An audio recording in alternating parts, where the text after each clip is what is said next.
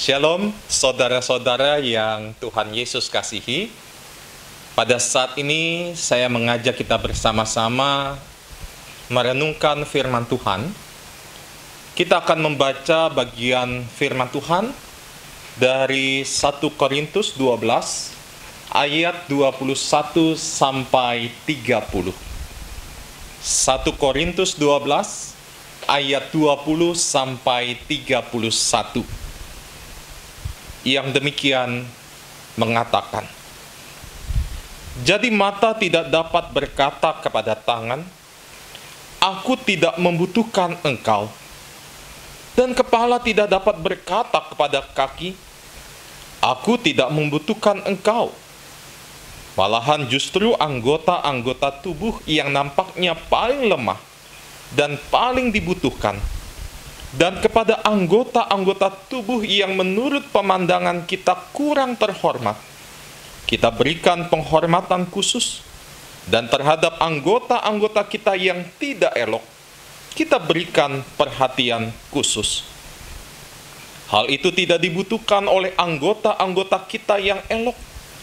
Allah telah menyusun tubuh kita begitu rupa, sehingga kepada anggota-anggota yang tidak mulia, diberikan penghormatan khusus, supaya jangan terjadi perpecahan dalam tubuh, tetapi supaya anggota-anggota yang berbeda itu saling memperhatikan.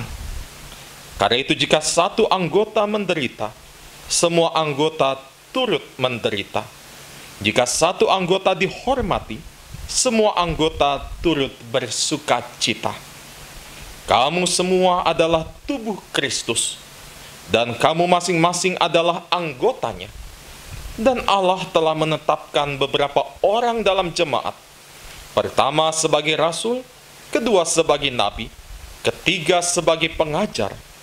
Selanjutnya mereka yang mendapat karunia untuk mengadakan mujizat, untuk menyembuhkan, untuk melayani, untuk memimpin, dan untuk berkata-kata dalam bahasa roh. Adakah mereka semua rasul atau nabi atau pengajar? Adakah mereka semua mendapat karunia untuk mengadakan mujizat? Atau untuk menyembuhkan? Atau untuk berkata-kata dalam bahasa roh? Atau untuk menafsirkan bahasa roh? Jadi berusahalah untuk memperoleh karunia-karunia yang paling utama. Dan aku menunjukkan kepadamu jalan yang lebih utama lagi. Saudara-saudara yang Tuhan Yesus kasihi pada hari yang sangat berbahagia dan sangat indah ini. Ketika hari ini kita boleh bersama-sama merayakan 13 tahun pelayanan sebagai gereja Tuhan GKI Villa Melati Mas. Mari kita bersama-sama melengkapi syukur kita pada hari ini dengan merenungkan firman Tuhan tadi dalam 1 Korintus 12 ayat 20 sampai 31. Alkitab mengisahkan bahwa Paulus mengingatkan jemaat orang-orang percaya di Korintus pada zaman itu dan juga kita pada zaman sekarang ini dengan sebuah analogi yang sangat luar biasa.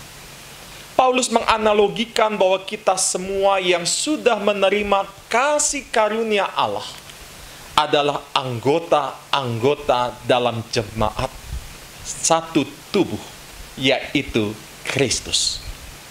Dengan mempergunakan analogi ini, Paulus memberitahu mereka dan juga kita bahwa lazimnya satu tubuh jasmania memiliki banyak anggota.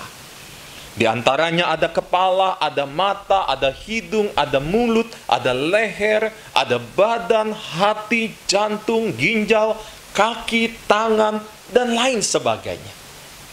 Semua anggota tubuh yang banyak itu membentuk satu tubuh manusia seperti adanya jasmani kita ini.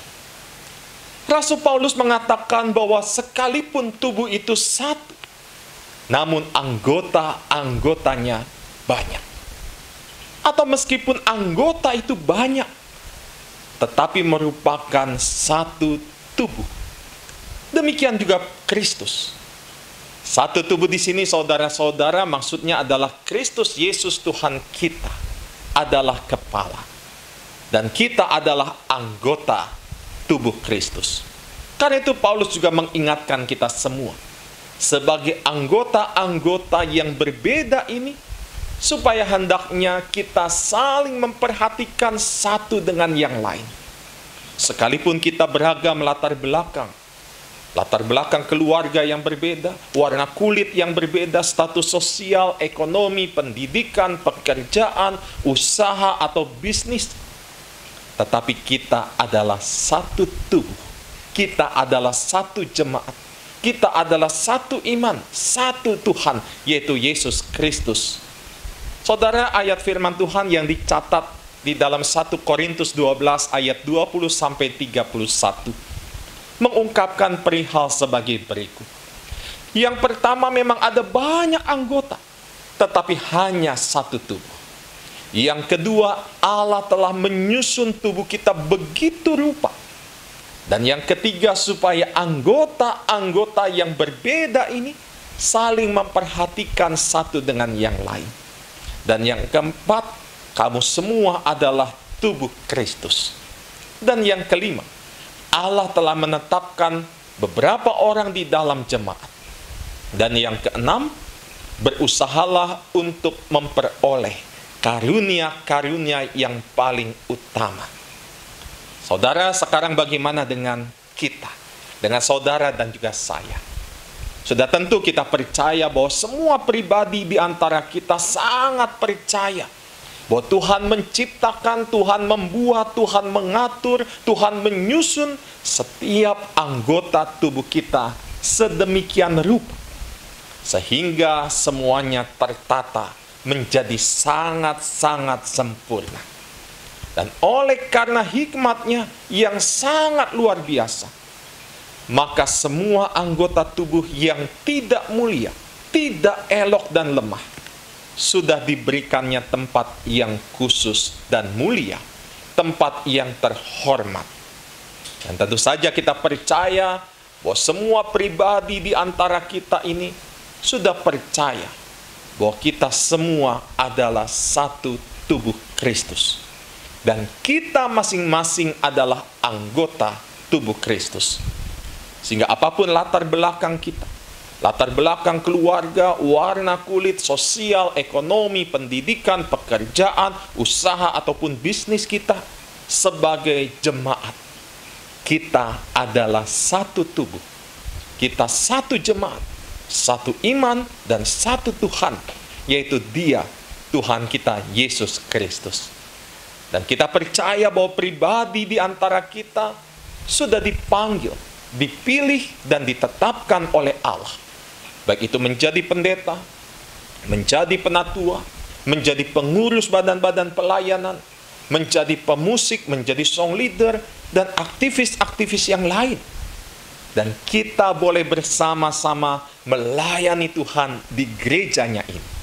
Karena itu saudara berbahagialah kita yang percaya bahwa Tuhan menciptakan, Tuhan membuat, Tuhan mengatur, Tuhan menyusun setiap anggota tubuh kita sedemikian rupa.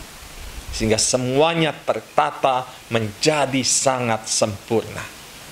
Dan oleh karena hikmatnya yang sangat luar biasa, maka semua anggota tubuh yang tidak mulia, tidak elok dan lemah tadi, sudah diberikan tempat yang khusus dan mulia. Bahkan tempat yang terhormat. Karena dia, Yesus Kristus Tuhan kita, sudah terlebih dahulu mengasihi kita dengan kelimpahan dan bahkan mengasihi kita dengan tidak berkesudahan. Mari saudara-saudara yang Tuhan Yesus kasihi, di usianya yang ke-13 tahun, GKI Villa Melatimas baik kita sebagai anggota jemaat ataupun kita sebagai simpatisan. Kita adalah satu tubuh Kristus. Biarlah kita boleh terus tersusun dengan rapi, dengan saling bekerja sama yang baik di dalam melayani Tuhan. Sehingga melalui pelayanan kita bersama, hanya nama Tuhan yang semakin dipermuliakan. Selamat ulang tahun bagi kita semua sebagai gereja Tuhan sebagai GKI Villa Melati Mas.